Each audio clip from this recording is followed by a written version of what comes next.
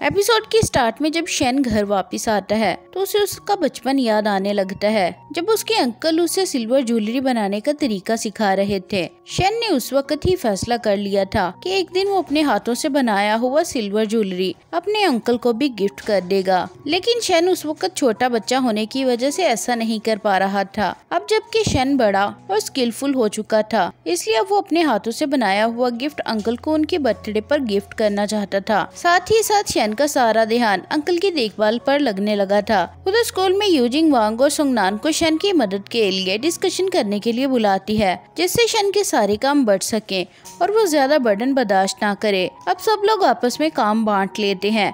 Using शन के लिए सारे क्लास नोट्स कलेक्ट करने की ज़िम्मेदारी ले लेती है, जबकि सुंगनान और वांग ज्वेलरी शॉप की देखभाल की ज़िम्मेदारी लेते हैं। भले ही वो लोग हैंडक्राफ्ट नहीं कर सकते थे बट एटलीस्ट वो शॉप को आगे बढ़ाना चाहते थे, ताकि बाद में उन्हें शॉप का रेंट देने में कोई प्रॉब्लम ना हो। जब वो लोग स्कूल के बाद शॉप में आते हैं तो शन वहाँ पहले से ही बैठा ज्वेलरी बना रहा होता है। वो लोग अच्छे से जानते थे कि शन शुरू से ही अपनी सैडनेस डाइवर्ट करने के लिए ज्वेलरी बनाता है, इसलिए वो लोग उसे डिस्टर्ब नहीं करते थोड़ी देर के बाद यूजिंग वहाँ शन के लिए खाना लेकर आती है। वो भी शन को बिज़ी देखकर उसे डिस्टर्ब नहीं करती और खाने को टेबल पर रखकर उस पर नोट लगाकर चली जाती है, जिस पर लिखा हुआ होता है कि खाना अच्छे से खा लेना। शन जब बाहर आकर उस नोट और खाने को देखता है तो उसे अपने दोस्तों पर बहुत प्यार आता है और वो बहुत वार्म फील करता है। अगले दिन यूजिंग स्कूल के बाद खाना और नोट्स लेकर शन के पास हॉस्पिटल आती है। खाना खाने के बाद यूजिंग शन को छत पर ले जाती है और उसे विशिंग बैलून देखकर अंकल की हेल्थ के लिए विश करने को कहती है। इस पर शन अंकल की अच्छी हेल्थ के लिए विश मांग लेता है और वो दोनों उस बैलून को उड़ा देते हैं। इसके बाद यूजिंग कहती है कि एक बार, तुमने मुझसे कहा था कि अगर कभी तुम मुसीबत में हुई तो मैं तुम्हारी पूरी मदद करूँगा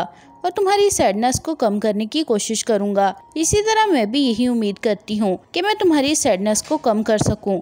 और हर मुसीबत में तुम्हारी हेल्प करूँ। अब शन के अंकल का बर्थडे करीब होता है वो उनसे मिलने हॉस्पिटल आता है तो उसे पता चलता है कि अब अंकल को आईसीयू से ट्रांसफ़र कर दिया गया है, क्योंकि अब वो काफ़ी स्टेबल हैं। ये सुनकर शन काफ़ी खुश हो जाता है और अंकल गुस्से घर जाकर आराम करने का कहता है, ताकि वो बाद में अंकल के बर्थडे के लिए उसे ज्वाइन कर सके इस पर अंकल गु को रियलाइज़ होता है कि वो अपने भाई का बर्थडे भूल गए थे, जिस पर वो काफ़ी एम्बेरस हो जाते हैं। अब शन आकर अंकल के हाथ में खुद से बनाई हुई ज्वेलरी रख देता है। अगले दिन यूजिंग को अपने इस हार्ड टाइम में मदद करने पर थैंक्स करने के लिए शन उसे प्ले में लेकर आता है। प्लेग्राउंड में काफ़ी इंजॉय करने के बाद यूजिंग को एक स्टॉल पर बिग बियर पसंद आ जाता है। बैलून बियर का ऑनर इन्हें बताता है कि बिग बियर हासिल करने के लिए उसे 20 बैलून्स को हिट करना पड़ेगा। ये सुनकर यूजिंग 20 गन करती है। लेकिन सिर्फ़ एक ही शॉट कामयाब हो पाया था, जिस पर यूजिंग काफ़ी डिसअपॉइंट हो जाती है। यूजिंग को इस तरह देखकर शन यूजिंग के लिए बिग बियर विन करने की ठान लेता है और स्टार लोनर से कहता है कि आप बैलून्स को हवा में उड़ा दे, मैं सबको हिट कर दूँगा, जिसके बाद आपको मुझे बिग बियर देना होगा। ओनर को ये बात इम्पॉसिबल लगती है, इसलिए वो जल्दी से मान जाता है और कहता है कि ना, सिर्फ़ मैं तुम्हें बियर दूँगा, बल्कि तुम्हारे पैसे भी तुम्हें वापस दे दूँगा। अगर तुम ऐसा करने में कामयाब हुए तो।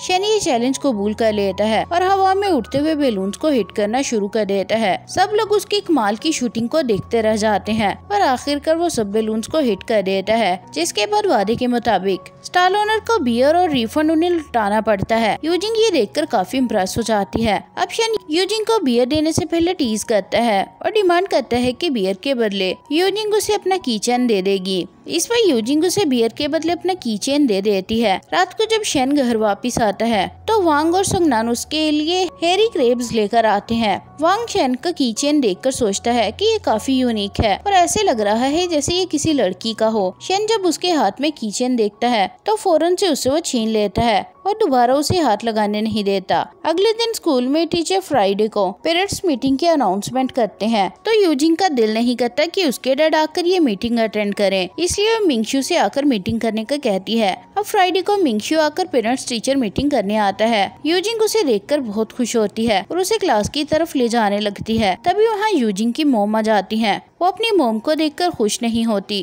और ये भी नहीं चाहती थी कि मोम उसकी पेरेंट्स टीचर मीटिंग अटेंड करें। माहौल को खराब होता देख टीचर सबको क्लास में ले जाते हैं यहाँ वो यूजिंग की काफ़ी तारीफ़ करने लगते हैं, लेकिन उसकी मोम ज़्यादा खुश नहीं होती। मीटिंग खत्म होने के बाद मोम टीचर से कहती है कि आप मेरी बेटी पर और ज़्यादा ध्यान दें। वो हमेशा से फ़र्स्ट आती रही है, जबकि इस बार वो सेकंड आई। टीचर से बात करने के बाद मोम यूजिंग के पास आती है और उसे कहती है कि मैंने डोमेट्री टीचर के साथ एग्रीमेंट कर लिया है कि तुम कुछ दिन मेरे साथ रहोगी, इसलिए अपना सामान पैक करो और मेरे साथ चलो। यूजिंग बिल्कुल भी उनके साथ नहीं जाना चाहती थी और वो अपनी मोम के साथ झगड़ा भी करना नहीं चाहती थी, इसलिए वो बिना तमाशा की अपनी मोम के साथ चली जाती है। जब वो लोग होटल पहुँचते हैं तो यूजिंग को उसके डैड की कॉल आती है। मोम जल्दी से कॉल खुद पिक कर लेती है और डैड की बातें सुनने लग जाती है, जो गुस्से में यूजिंग को डांट रहे थे। डैड की बातें सुनकर मोम को बहुत गुस्सा आता है और वो उनको कल मुलाकात के लिए बुला लेती हैं। अगले दिन शेन को यूजिंग स्कूल के टॉप रूफ पर मिलती है। वो उसे देखकर समझ आता है कि ज़रूर कोई बात है। वो उसे कंफर्ट करने के लिए उसके पास जाता है और कहता है कि अगर तुम अभी अपने दिल की बात शेयर नहीं करना चाहती तो मैं तुम्हें फोर्स नहीं करूँगा। मैं तो बस यही होप करूँगा कि तुम्हारे आसपास जो भी प्रॉब्लम्स हैं, वो सब ठीक हो जाए। इधर मोम और डैड मिलने के लिए आ जाते हैं। मोम डैड पर काफ़ी गुस्सा करती है कि तुम्हारी हिम्मत कैसी हुई मेरी बेटी पर हाथ उठाने की और तुमने उसे घर से बाहर रहने के लिए क्यों भेजा? क्या तुम उसके लिए रहने का बंदोबस्त नहीं कर सकते थे? इस पर डैड उनसे कहते हैं कि इसमें मेरी गलती नहीं, बल्कि तुमने उसे बिगाड़ कर रखा हुआ था। इस पर मोम अपना अजीब सा फैसला सुना देती है कि जैसे ही कॉन्ट्रैक्ट खत्म होगा, मैं यूजिंग को अपने साथ दूसरे शहर में ले जाऊँगी। डैडी ये सुनकर कोई बात नहीं करते, क्योंकि वो तो इस चीज़ के पहले से ही आदि थे। इधर लिन याओ को जब यूजिंग की, मोम की पास सिचुएशन के बारे में पता चलता है तो वो यूजिंग के पास आकर उसे सब बताता है कि पहले तुम्हारी मोम की कंपनी को लॉस हो गया था, जबकि अब वो स्टेबल है। इसलिए हो सकता है कि अब वो तुम्हें वापस अपने साथ ले जाए। ये सुनकर वो मोम के पास सब कंफर्म करने के लिए आती है। मोम लेन याओ की सब बातों को ठीक बोलती है। तो यूजिंग को उन पर बहुत गुस्सा आता है और वो उनसे कहती है की आप दोनों मुझे सिर्फ़ एक ऑब्जेक्ट की तरह यूज़ करते हैं। आप लोगों को मेरी फीलिंग्स की कोई परवाह नहीं है। यूजिंग अपनी मोम से काफ़ी झगड़ा करने के बाद अपना मूड ठीक करने के लिए शैन की ज्वेलरी शॉप में आ जाती है। लेकिन जब वो शैन को अपने सामने देखती है तो उसे कुछ समझ नहीं आता कि वो शैन को क्या बताए। इस पर शैन उससे कहता है कि, मैं यही हूँ, तुम्हें जब भी कंफर्टेबल फील हो तो मेरे पास बात करने के लिए आ जाना।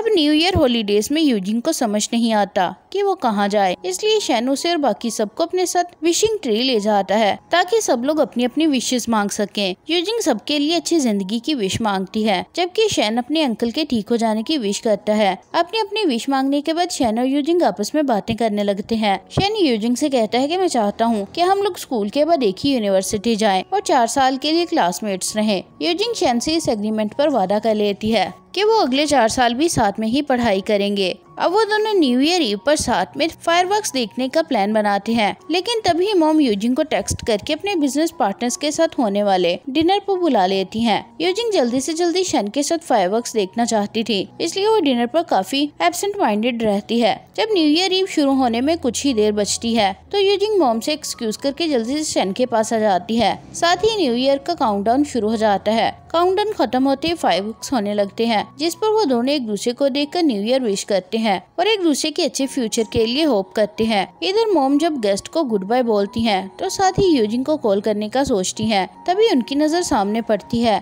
जहाँ यूजिंग शन के साथ होटल वापिस आई दिखाई देती है। मोम उन दोनों को इस तरह बातें करते देख कर समझ आती है की यूजिंग शन के लिए क्या फील करती है। मोम को फ़िलहाल ये बिल्कुल भी कबूल नहीं होता की यूजिंग पढ़ाई के अलावा कुछ और भी सोचे, इसलिए वो यूजिंग से कह देती है कि मैं तुम्हें यहाँ से वापस ले जाने वाली हूँ। तुम्हारा ये सेमेस्टर खत्म होते ही तुम मेरे साथ चलोगी। मैंने सारे अरेंजमेंट्स कर लिए हैं। यूजिंग ये सुनकर बहुत डिस्टर्ब फील करती है और अपनी मोम से रेजिस्ट करने लगती है। क्या मेरे साथ ज़बरदस्ती नहीं कर सकती? इस पर मोम उसे क्लियरली अपना फैसला सुना देती है कि जो मैंने कहा वही होगा। ये सुनकर यूजिंग अपनी मोम के सामने अपने आप को बहुत बेबस फील करती है और रोने लग जाती है और इसी सीन के साथ इस एपिसोड का भी एंड हो जाता है।